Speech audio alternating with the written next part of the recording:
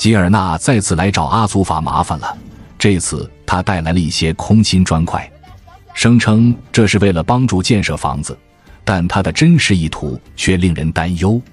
他希望通过这种方式为自己和妈妈在这里未来的居住创造条件。面对这种情况，阿祖法该如何应对呢？欢迎朋友们来到康特和阿祖法的日常生活记录。阿祖法还得照顾一下阿斯曼，小凯撒已经睡着了。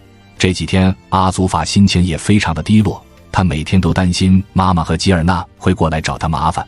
还好有两个孩子陪着他，也是他坚持下去的动力。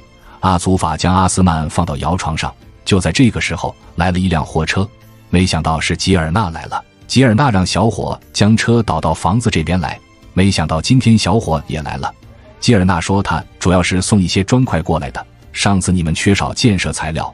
阿祖法问小伙：“你来这里做什么？”小伙说是康特的妈妈要求他来送砖块的。阿祖法让小伙拿着这些砖块赶紧走人，这里不需要你们的帮忙。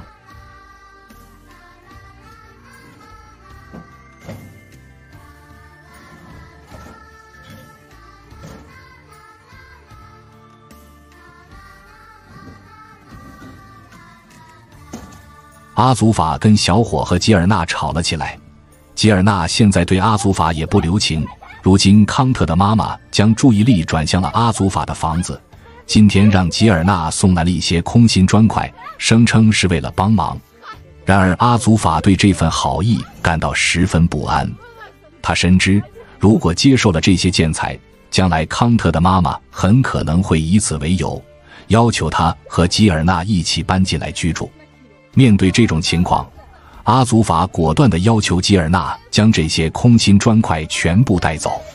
他明确表示自己不需要这些建材，也不希望接受这种形式的帮助。然而，吉尔纳却坚持认为这些砖块是给康特的，与阿祖法无关。他甚至直言不讳地表示，阿祖法无权干涉这件事。此时的阿祖法陷入了一种进退两难的境地。康特不在家，他独自面对着固执的吉尔纳和小伙，感到既无奈又焦虑。即便现场有摄影师在场，他也无法直接介入这种家庭纠纷，只能等康特回来，到时候让康特说服他们。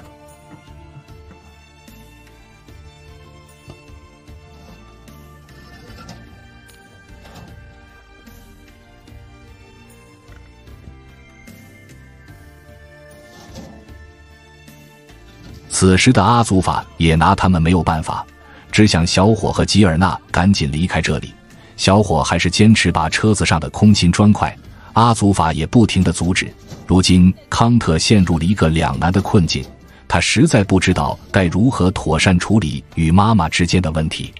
康特非常了解自己母亲的性格，她是一个固执而坚持己见的人，绝不会轻易放弃或改变自己的想法。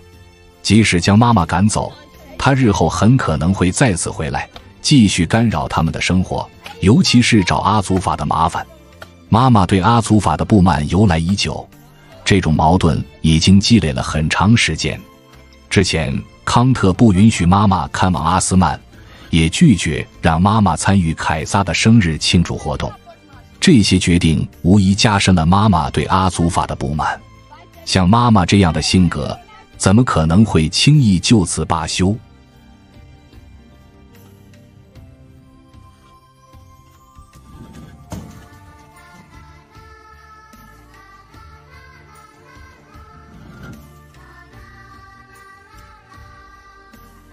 阿祖法也没有办法，只能先把这些砖块放在这里，到时候等康特回来处理。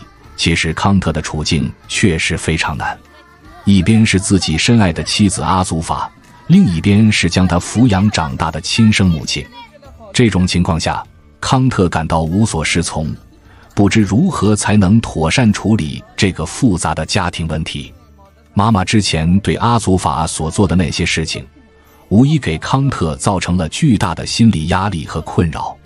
尽管康特明白那些行为是不可原谅的，但作为一个儿子，毕竟是妈妈含辛茹苦的将他抚养长大，给予了他生命和养育之恩。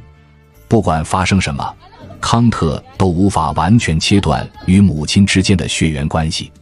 这种深厚的亲情纽带，让他在面对当前的困境时倍感煎熬。与此同时，康特也深深明白自己对妻子和孩子们的责任。他迫切地想要为阿祖法营造一个安稳的家庭风景，也希望能够为孩子们提供一个良好的生活和成长环境。然而，现实情况却不尽如人意。他急切的希望能找到一个两全其美的解决方案，既能照顾到母亲的需求，又不会影响到自己的小家庭。不知道朋友们有没有很好的解决方法？